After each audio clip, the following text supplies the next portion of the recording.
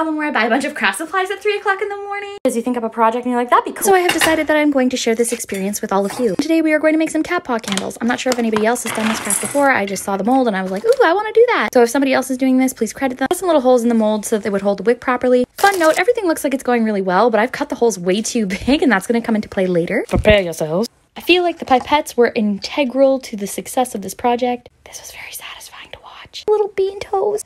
I'm doing two different colorways for these candles. We're going to have a dark and spooky one, and then I'm going to try and do a rainbow paw.